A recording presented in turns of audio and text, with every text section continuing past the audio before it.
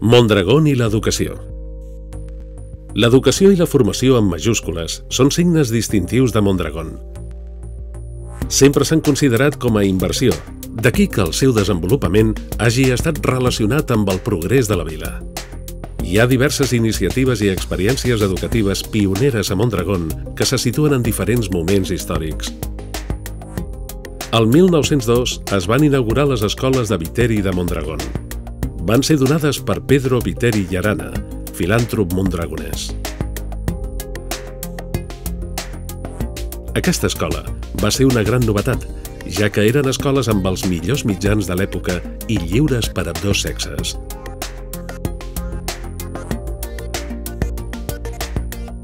Aquí es van formar nombroses persones que van proveir de perfils tècnics i directius a la Unió Serrallera.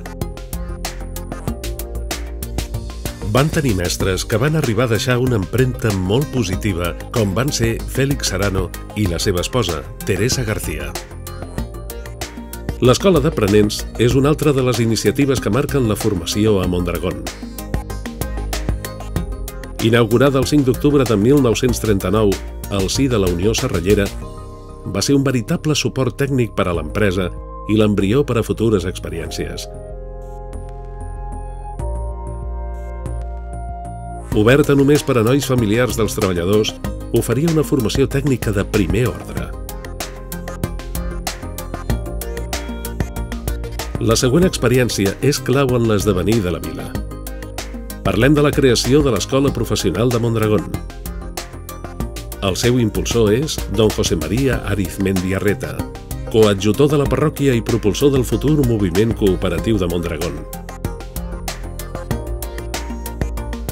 És el 1943 quan es posa en marxa i d'ella sortiran nombroses experiències empresarials que conformaran les diverses cooperatives del grup Mondragón.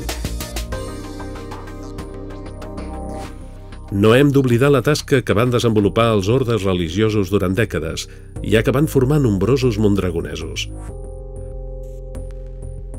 Parlem de les escoles de Sant Viator, les Mercedàries o de l'Assumpció. D'altra banda, cal destacar el fet que Mondragón va disposar de la primera guarderia laboral de l'estat espanyol. Va ser una iniciativa pionera afavorida per la cooperativa Auzo Lagún. Una iniciativa popular de gran calat és la gestació de la Icastola. Va ser clau perquè es pogués estudiar en euskera. És el 1967 quan es posa en marxa, recollint el testimoni de la que havia existit en els temps previs a la Guerra Civil.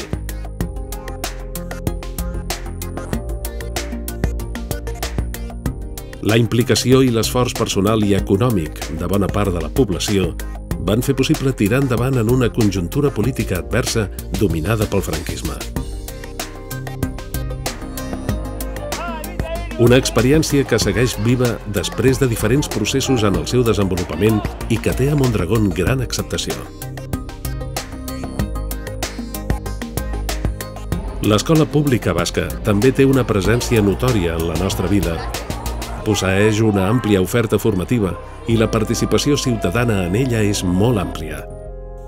En l'actualitat desenvolupa el seu projecte educatiu per a persones des dels 0 als 18 anys.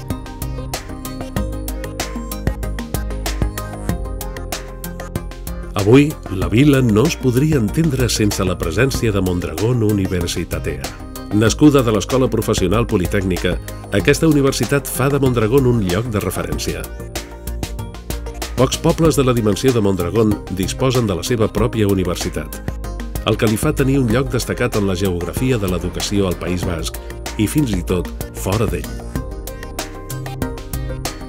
Entre les iniciatives de formació, cal destacar l'existència d'una escola de música amb més de 40 anys de vida. Arrasate Musical ha estat i és el punt de trobada de milers de mondragonesos.